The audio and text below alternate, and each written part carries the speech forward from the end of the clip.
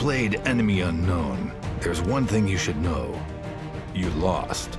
The sequel picks up 20 years after the XCOM project fails to defend Earth from an alien invasion. Aliens have taken over the world, and it's up to the player to rebuild XCOM, retake the planet, and make our world safe. A small number of dissidents again repeat the mistakes of the old world. Striking as we celebrate a benevolent savior who time and again offers only friendship and compassion. Yet these trivial actions Could never break the bond between humanity and the Elders. The game story has the aliens experimenting by splicing together human and alien DNA. Human hybrid soldiers. Advent's reward for obedience and service.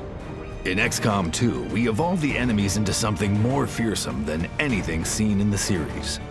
This means that aliens aren't just bigger and badder, they're also smarter. For example, the Muton's physique tell the player he's less of a beast and more of a soldier. Enemy Unknown's gruesome-looking floater has become a godlike Archon, with upgrades both to its appearance and abilities.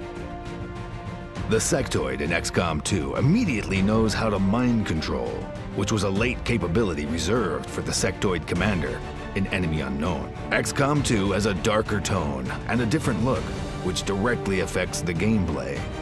What was once a multinational government-funded project, XCOM has now been reduced to a grassroots resistance. Players are no longer waiting for aliens to strike an area. Now you decide when to take the fight to the aliens and create your own opportunities.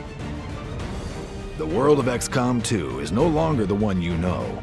It's vastly more open-ended, and you'll be finding more choices in and out of combat. Tread lightly, because the aliens made Earth a brutal and unforgiving place, where your actions will be met with real consequences. Good luck, Commander.